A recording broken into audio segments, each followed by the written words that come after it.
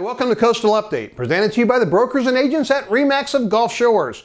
This is our report for January of 2023 for the single family market here along the beautiful Alabama Gulf Coast, the area we call Pleasure Island, consisting of Gulf Shores, Orange Beach, Fort Morgan, and Perdido Key in Florida.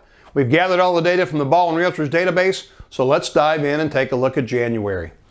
This chart shows inventory, a number of the homes that are active on the market. On February 1st, it stood at 379, up 170 from the same time last year.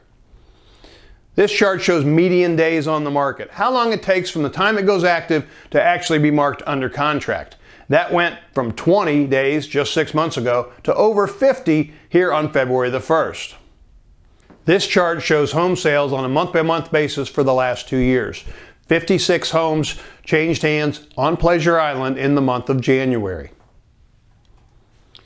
This chart shows January of 2023 versus the same time last year. Total number of homes sold was down nearly 40% to only 56 homes that sold.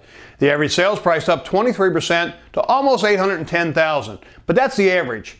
Let's look at median, meaning half the sales were above and half were below. An 18% increase to $552,500.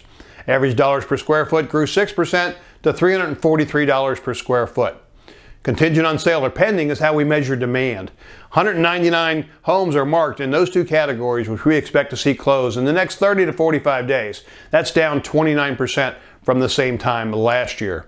What this means is the market is not decreasing from a sales price standpoint. They are staying on the market a little bit longer, which is attributable to the lower number of monthly sales but it's still a very active market. It's important you contact a professional to help guide you through the way if you're looking at buying or selling anywhere along the beautiful Alabama Gulf Coast. Contact the REMAX of Gulf Shores agent supplied you with this video. They stay on top of the market so you make great decisions. Thanks for watching Coastal Update and we'll see you next month.